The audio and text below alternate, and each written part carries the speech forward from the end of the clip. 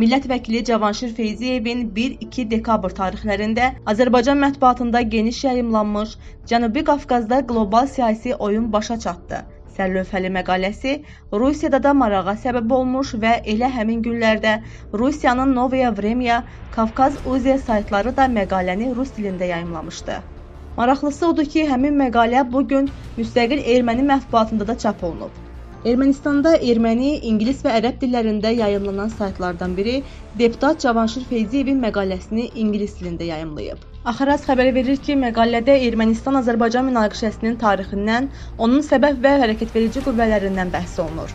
Müəllif iddia edir ki, Cənubi Qafqazda bu münaqişənin mövcudluğu region ölkələrindən daha çox qlobal güc mərkəzlərinin maraqlarına xidmət edirdi və həm Azərbaycan, həm də təcavüzkar Ermənistanın özü bu münaqişənin qurbanları idilər.